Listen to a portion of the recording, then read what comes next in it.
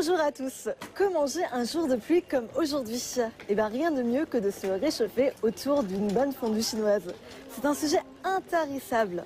Et la fondue qui nous intéresse aujourd'hui est très spéciale. Du bouillon à la sélection des ingrédients au récipient, tout est d'une extrême importance. Et c'est le chef euh, Wang Xuelu qui va nous faire découvrir tous les secrets de cette recette. Je suis Lisa et bienvenue dans Secret Chef, l'émission qui donne l'écran.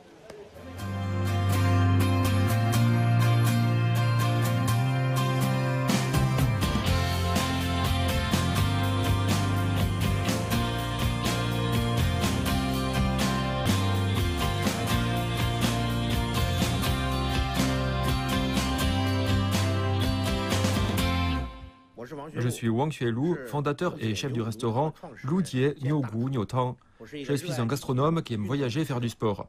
C'est pour ça que les recettes créatives de mon restaurant ont été inspirées des meilleures spécialités régionales. Elles sont non seulement bonnes pour la santé, mais elles ont également des saveurs authentiques.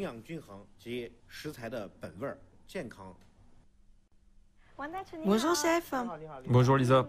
Tu tombes à pic. J'ai justement envie de te présenter une recette créative. C'est la fondue à la marmite de Médoc.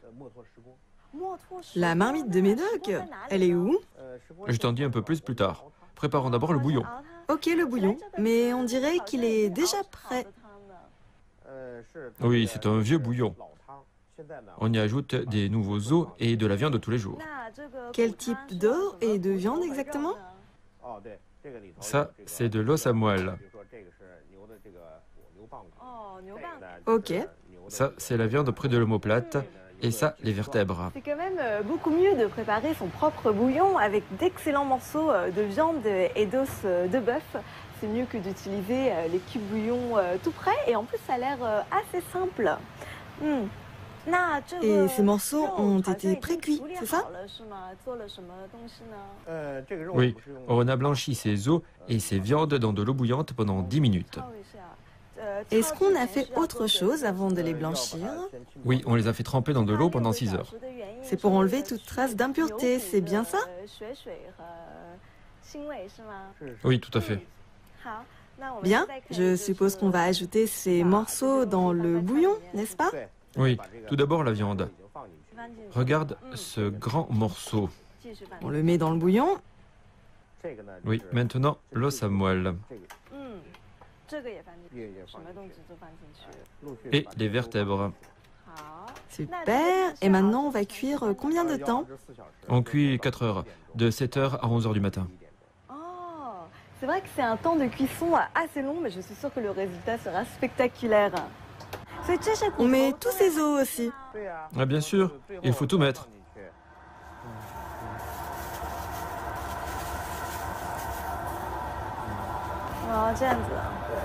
Comme ça. Apparemment, il faut mettre euh, du gros sel euh, sur les contours euh, de la moelle pour que la moelle reste à l'intérieur de l'os. On va laisser cuire un moment. Maintenant, on va préparer une étape importante de la recette, la marinade. Super, allons-y. Elisa, marinons les vertèbres. Je pensais qu'on les avait déjà mises dans le bouillon. Pourquoi les mariner encore? Eh bien, les vertèbres que nous avons mises dans le bouillon servent à la préparation du bouillon. Celles-ci seront mises dans la marmite de Médoc pour être mangées. Parce qu'après 4 heures de cuisson, il n'y aura plus rien à manger dans les morceaux du bouillon. La viande aura fondu, alors on marine avec quoi? Avec du gingembre, de la ciboule, du vin de cuisine et enfin du blanc d'œuf. À quoi ça sert Le blanc d'œuf sert à ne pas sécher la viande, qu'elle garde de la tendreté et son goût sera meilleur. Enfin, un peu de sel.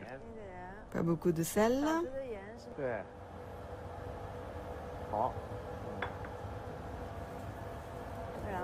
Et on masse? Oui, on mélange bien.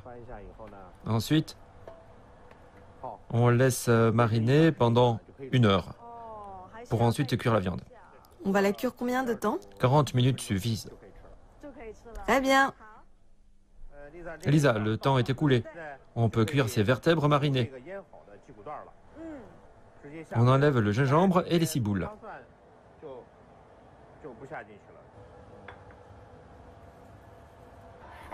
Chef Wang, je viens de m'apercevoir qu'on n'a pas du tout assaisonné.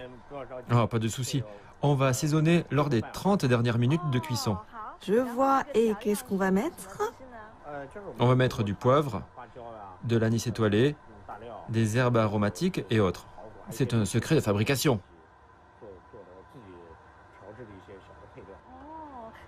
En général, on met les aromates au début de la préparation, mais ici, pourquoi on les ajoute à la fin? C'est pour garder le goût naturel du bouillon. On les ajoute à la fin. Si on les met dès le début, ça changera le goût du bouillon. Je comprends. Euh, bien évidemment, euh, à la maison, vous pouvez utiliser les aromates qui vous plaisent, le thym, le laurier, euh, tout est bon. Bien, maintenant, on met les aromates dans le bouillon. Et ce sera prêt dans 30 minutes. C'est super.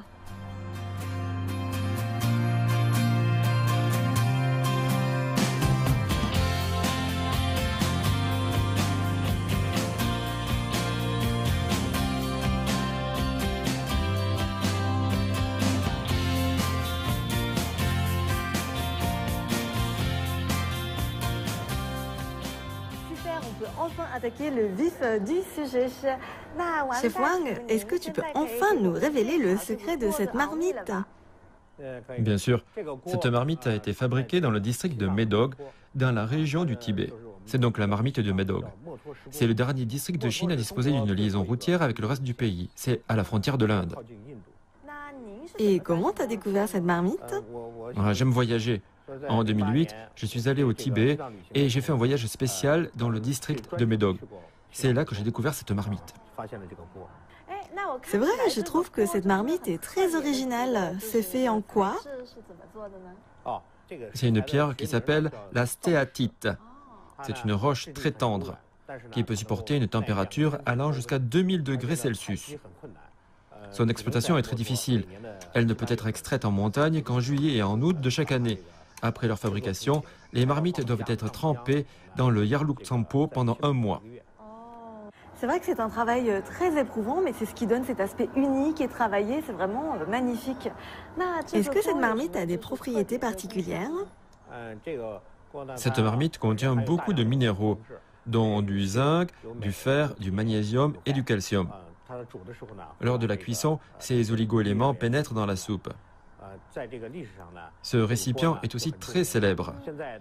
Il y en a même une exposée au palais du Potala, utilisée par un ancien roi tibétain.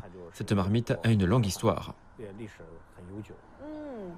Les valeurs nutritives de cette soupe doivent être très élevées. Oui.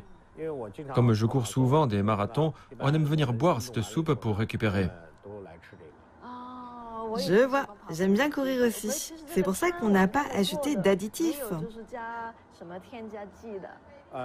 Oui, tout à fait. On n'a pas ajouté d'essence de poulet ni de glutamate. Ça a un goût pur et naturel. Bon euh, pour la santé aussi. Oui, Je vois que la soupe bout. oui. Maintenant, nous pouvons commencer par la soupe. Ensuite, on mangera l'os et la moelle. Et on terminera par les légumes. Super, goûtons.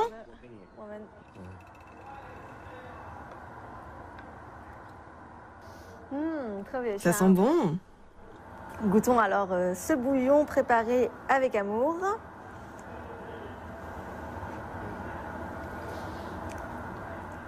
Mmh, C'est délicieux. Il y a plein de saveurs. Même si nous n'avons pas du tout ajouté de sel, je trouve que ce bouillon est parfaitement salé. Il y a, c'est très parfumé. Il y a vraiment tout le gras euh, de la viande et de l'os qui a fondu euh, dans cette soupe, ce qui la rend euh, vraiment très dense. Je sens aussi également euh, des arômes de champignons. C'est vraiment délicieux. Je peux également goûter à d'autres saveurs comme des baies de goji, par exemple. Oui, on a ajouté des baies de goji, des jujubes et des matsutake. Les saveurs de la soupe viennent aussi de ces ingrédients. Super, je peux goûter à l'os maintenant? J'ai vraiment hâte. Euh, bien sûr, vas-y, goûte. Mmh. Merci. Les Chinois adorent euh, grignoter euh, près de l'os car c'est là que sont concentrées en fait toutes les saveurs de la viande. En tout cas, vous pouvez voir que la viande s'émiette complètement et qu'elle n'est pas attachée à l'os. Mmh. C'est très tendre. C'est parce que ça a cuit très longtemps. D'abord, la viande est très fraîche. Et puis, au cours de la marinade, le blanc d'œuf a joué un rôle principal. C'est pour ça que c'est très tendre. On devrait toujours utiliser du blanc d'œuf pour mariner les viandes alors. Oui, tout à fait. Si le goût est trop léger, tu peux ajouter un peu de sauce soja. Juste un tout petit peu. Oui. Super, allons-y. Mmh. Avec la sauce soja, c'est vraiment merveilleux. C'est encore plus savoureux et j'ai même l'impression que ça attendrit encore plus la viande. Je vois ce grand os à la moelle au milieu. Comment ça se déguste? On mange la moelle à l'intérieur. Ça devient fondant au bout d'une dizaine de minutes de cuisson. On verse un peu de sauce soja et de vinaigre pour réduire le gras. On prend cette cuillère pour creuser et manger. Ça se mange directement. J'en ai jamais mangé. Je me demande quel goût ça a. Regarde, la moelle fond déjà.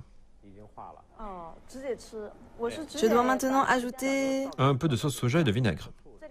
Comme ça C'est une technique très intéressante. Un peu de sauce soja. Oui. Creuse avec ta cuillère. Tu peux manger directement. Directement. Les Chinois disent que c'est un super aliment, faible en gras et riche en nutrition. Alors je vais goûter. Mmh. C'est pas du tout gras. Je pensais que ça allait avoir une texture un peu écœurante, alors que pas du tout.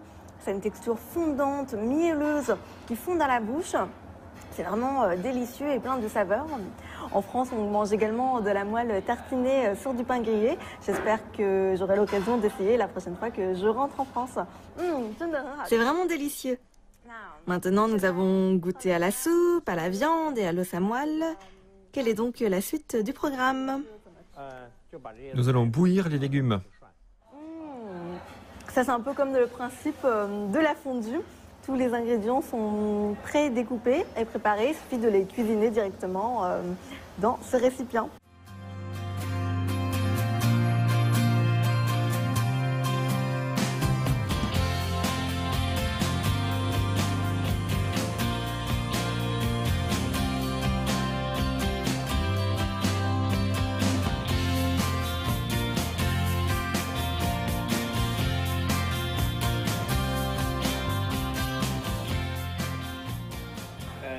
Lisa, goûte encore une fois à la soupe. Tu vas voir, le goût a changé. C'est vrai? Ok.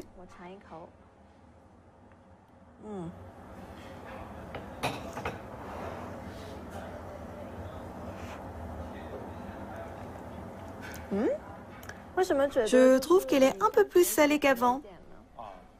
C'est parce que les oligo-éléments se sont diffusés dans la soupe. Si tu trouves que c'est trop salé, tu peux ajouter un peu de vinaigre. Un peu de vinaigre. Ok. On va voir si le vinaigre a un effet magique sur cette soupe. C'est vrai, en plus, ça lui donne un petit côté euh, acidulé en plus. Mmh. Voilà encore une recette à noter dans ces carnets euh, de cuisine chinoise. Une recette à la fois conviviale, familiale, c'est vraiment une recette de partage et c'est ce qui me plaît le plus.